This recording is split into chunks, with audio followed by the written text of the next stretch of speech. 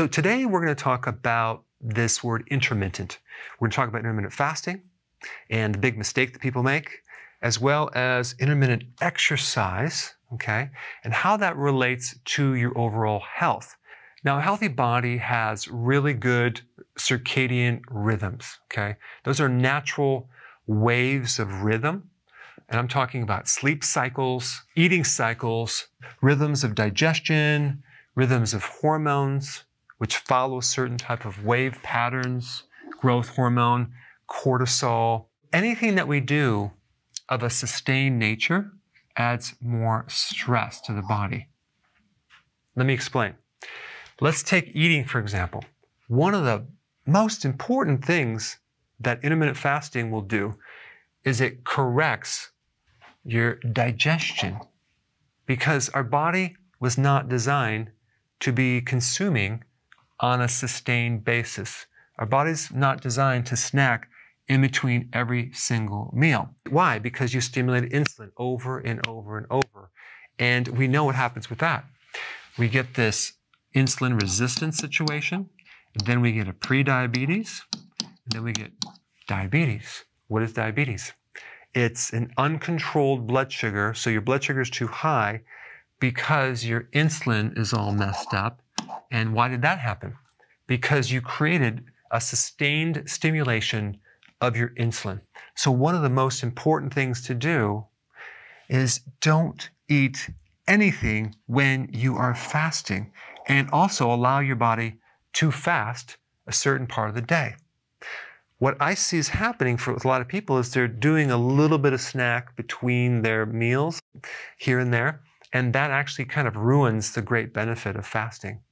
When you're fasting, you don't want to eat anything. You can drink some water, but ideally stay true to the definition of fasting, which basically you're not eating anything. So what's going to happen is you're going to get a lot more benefits to that because sometimes people become lax and really they're they think they're doing fasting, but they're doing a little snack here, but they say, well, it's not carbs, it's just a little protein, right? Well, protein will activate insulin. So we want to practice intermittent fasting and definitely want to get rid of that breakfast there and maybe do two meals a day and then maybe do one, but then do a true fast.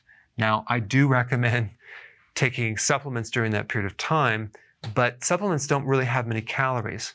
We're just doing B vitamins, uh, we're doing electrolytes, things like that. Now let's shift to exercise. Let's take a look at high intensity interval training, okay, which is intermittent. So you're going to do this high intensity. You're not going to do it sustained. You're going to do it intermittently, right?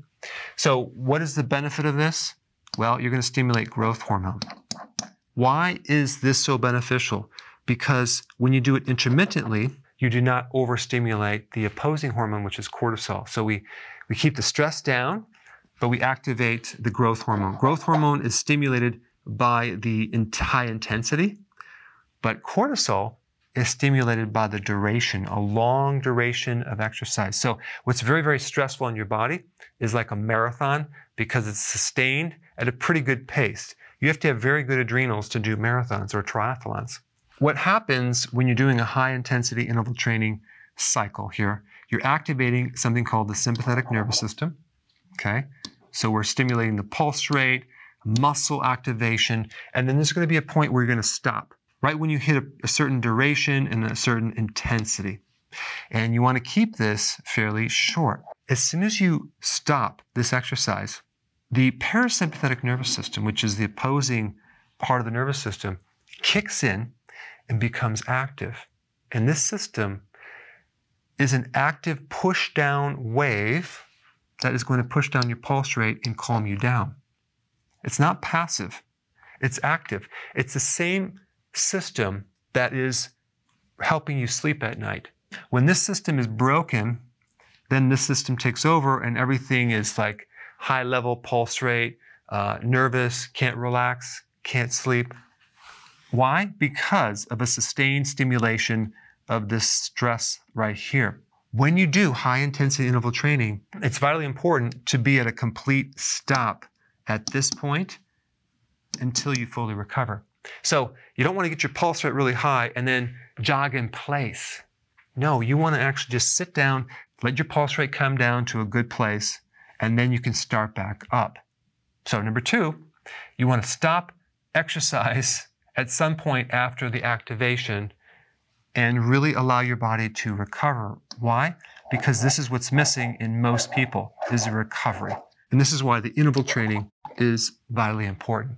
Now, you can also apply this to other things as well, because if you're consuming caffeine all day and you're stimulating and stimulating, you're going to not allow your body to calm down. You're eventually going to be tired and require more stimulants. So that will just burn you out and affect your ability to sleep, which is key with recovery.